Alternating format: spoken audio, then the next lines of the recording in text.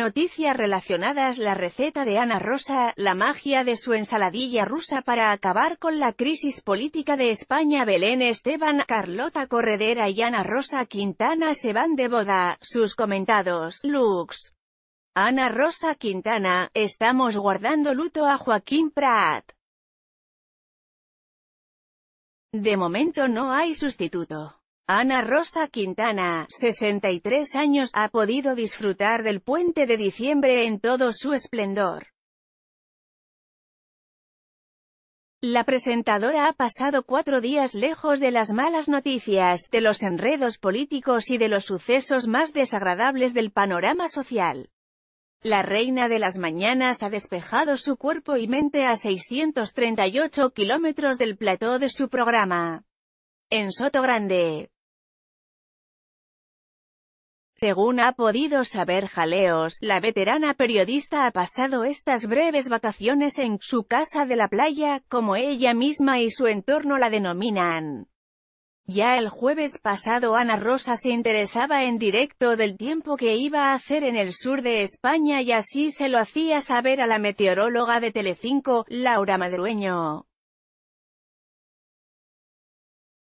Es el único lugar del país que se libra de las bajas temperaturas, habrá sol, le contestaba entonces la experta. Tras el programa del 5 de diciembre la presentadora y su familia pusieron rumbo a su residencia de Sotogrande, una exclusiva urbanización una de las más lujosas de Europa, ubicada en Cádiz, a 15 minutos de Gibraltar.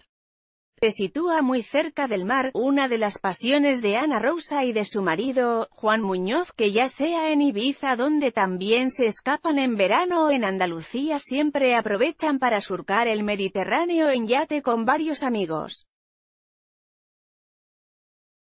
Mientras Quintana gozaba de unos días de descanso y alejada del barullo de la capital, tomaba las riendas del programa su compañera Patricia Pardo, 36, tanto en la mesa política como en la de sociedad. Han sido dos días en los que Ana Rosa ha tomado fuerzas para los días previos a la Navidad y prueba de ello es que ha vuelto este martes a las 8 y 55 de la mañana horas con un semblante descansado y vestida de naranja, un color enérgico y vivo que refleja su estado de ánimo tras unos días de calma en familia. Sotogrande es el refugio favorito de la presentadora desde hace más de una década, donde se siente como en casa y cuenta con un círculo de amigos con los que no duda en acudir a eventos rodeados de la jet set de la Costa del Sol o simplemente reunirse con sus amistades en un bar con vistas al mar.